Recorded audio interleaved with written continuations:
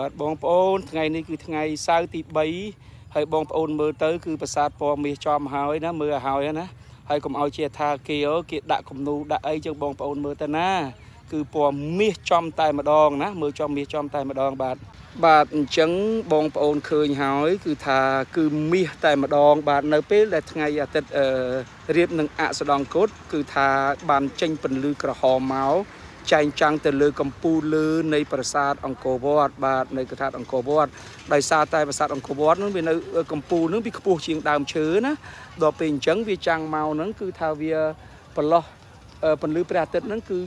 ចន្លោះនៃយើងមេឈើគឺចាំងមកគឺឃើញស្អាតតែម្ដងបាទនេះមើលឲ្យហើយទៅគឺទស្សនវិជ្ជាទាំងស្រុងតែម្ដង គឺនៅព្រះអាទិត្យអសដងគុតនៅអង្គរវត្ត ដ៏ស្រស់ស្អាតនៅល្ងាចថ្ងៃសៅរ៍ទី3ខែធ្នូឆ្នាំ2022ហើយថ្ងៃស្អែកជាថ្ងៃអាទិត្យដែលនឹងមានការរត់ម៉ារ៉ាតុងដ៏ធំមួយនៅអង្គរនេះគឺជាការរត់ម៉ារ៉ាតុងប្រចាំឆ្នាំ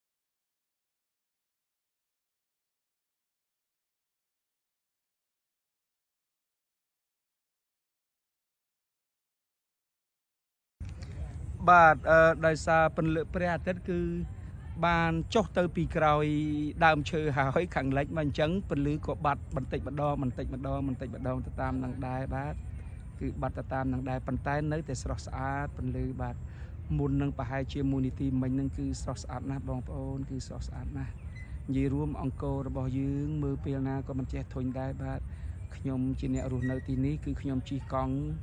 ទាំងរាល់ព្រឹកឬក៏ពេលល្ងាចដូចជាថ្ងៃនេះគឺថាមើលរាល់ថ្ងៃថតរាល់ថ្ងៃគឺមិនដែលចេះធុញទ្រាន់មួយដងណាឡើយមិនមែនតែអង្គរវត្តទេ គឺប្រាសាទយើងសឹង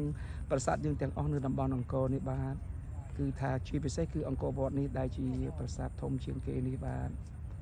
បាទនិយាយរួមតំបន់បតិកភណ្ឌប្រវត្តិសាស្ត្រយើងតំបន់អង្គរនេះគឺថាមិនមែនតែអង្គរវត្តទេប្រាសាទណាក៏ដោយគឺសិតតែអស្ចារ្យដូចគ្នាទាំងអស់ បាទគ្រាន់តែសំខាន់លើសំខាន់បាទ